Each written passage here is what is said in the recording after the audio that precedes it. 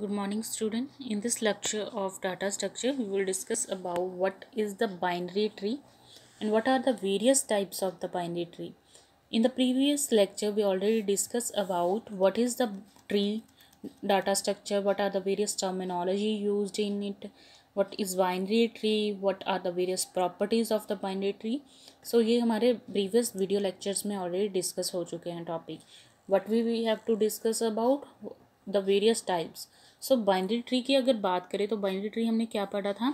कि जहाँ पर हमारे पास एक नोड है ए हर नोड के दो चाइल्ड होंगे left child and right child जिसमें बाइनरी ट्री में हर नोड के दो चाइल्ड हो सकते हैं या दो से कम हो सकते हैं। ज़ीरो वन एंड टू हो सकते हैं, दो से ज़्यादा नहीं होंगे। जैसे कि ए के दो चाइल्ड हैं बी एंड सी दो से ज़्यादा तो नहीं है।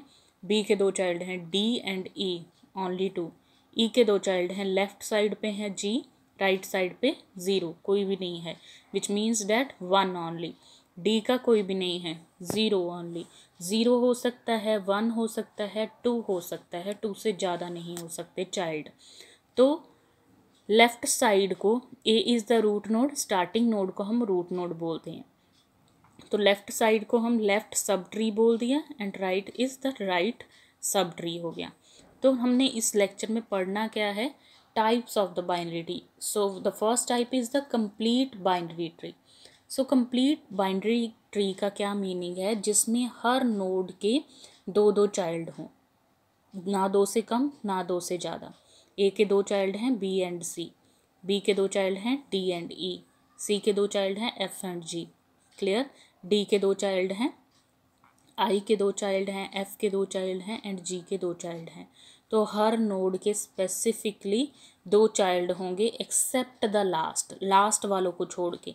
जो लास्ट एंड में बचा, उसे छोड़ के, क्योंकि एंड में लीफ नोड्स बच जाती हैं. क्लियर तो complete binary tree is a binary tree in which every node in which every level except possibly the last is completely filled and all the nodes are as far as left as possible clear so binary tree जो complete binary tree है of depth d is called the strictly binary tree if all of whose leaf nodes are at level d अगर सारी की सारी इस level पे और ये लेवल है ज़ीरो ये हो गया level one level two and level three तो लेवल थ्री पे सारी की सारी क्या है? लीफ नोड्स यहाँ पर लीफ नोड्स आती हैं, उसको हम स्ट्रिक्टली बाइनरी ट्री बोलते हैं.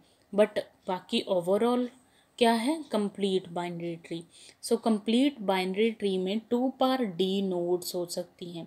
जैसे कि ये लेवल ज़ीरो है तो यहाँ पर टू डी की वैल्यू क्या आ गई? ज़ीरो टू पार ज़ीरो कितना हो गया? One only one node is present similarly level one की बात करें तो लेवल वन डी की वैल्यू क्या आ गई? One two power one two power one is two तो दो एलिमेंट्स हैं B and C similarly level two की बात करें the D value is two two power two two two ज़ा फोर फोर एलिमेंट्स है. क्लियर ऐसे हम इसकी डेफ्थ निकाल सकते हैं कि number of nodes at each level कितनी है.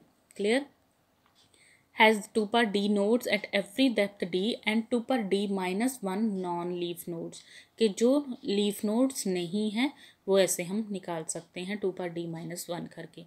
क्लियर तो this is a complete binary tree structure and next we have यहाँ पर हमने कंप्लीट बाइनरी ट्री कर चुके हैं। Next we will discuss about strictly binary tree